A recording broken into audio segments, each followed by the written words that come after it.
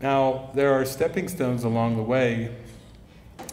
Once you have a hint that your mind is powerful, that your consciousness is, is very powerful, then you can have experiences of what you could call manifesting, where you start to see your thoughts manifest before your eyes. And that's a very helpful step because that's showing you the power of your mind. Anything that shows you the power of your mind and the power of thought is a helpful step on the journey.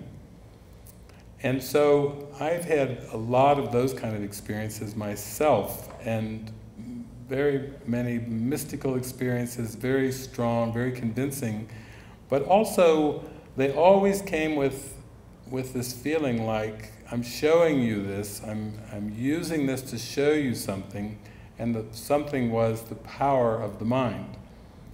And then it seemed to reach a point in consciousness and awareness where it was like, but even if you could manifest anything that you think you want, wouldn't you rather have an experience of eternal happiness? Wouldn't you trade all that manifesting for a consistent state of peace? Wouldn't you go that extra step to know your source, to know your creator, to know yourself, your true identity, that's literally beyond even the manifesting, beyond the stage of manifesting. And for me, it was a big yes. It was like a huge yes, like, yes, I want to be consistently happy, joyful. I want peace of mind. I want to have a state that transcends all judgments, all comparisons, all illness.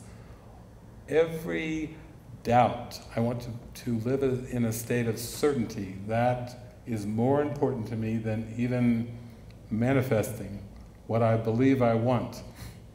Because I had to come to the realization that I didn't really know what I wanted. you know, and, and that that I that was trying to manifest was still spinning its wheels. And having a lot of fun actually, spinning its wheels. But there was something beyond that. There was something more and to me, that's what spiritual awakening is all about. Where you get to that point where you say, Yes, I'm willing to know who I am. I'm willing to wake up from this dream, and I'm willing to accept the happy dream of non judgment. Now, what is a happy dream of non judgment? Well, it's simply a state of mind where you do not have an opinion about anything absolutely anything. It doesn't matter when people, it's political, it can be about nature, it can be about music, it can be about movies. It's coming to a place where you don't have an opinion. You don't take a side.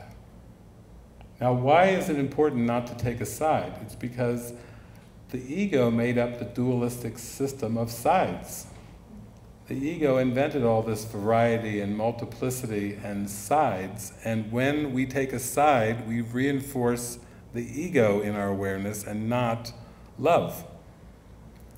Jesus tells us in the Course in Miracles that love makes no comparison. He says, comparison must be an ego device, for love makes none. That love is a state of perfect acceptance.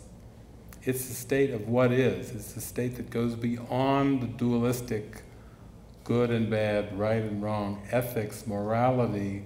All of those still would fit in the category of judgments.